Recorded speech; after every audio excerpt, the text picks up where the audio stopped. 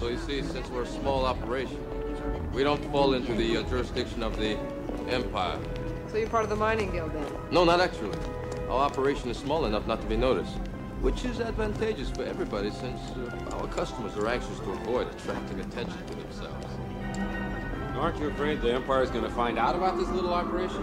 Shut you down? It's always been a danger, but it looms like a shadow over everything we've built here. But things have developed that'll ensure security.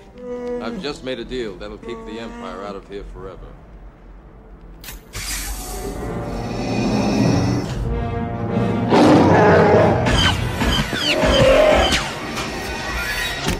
We would be honored if you would join us.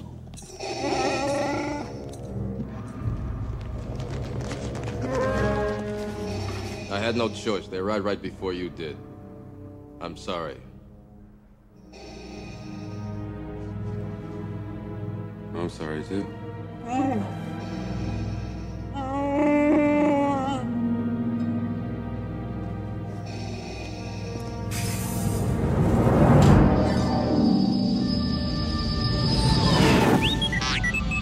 No, 3PO's with them. Just hang on, we're almost there.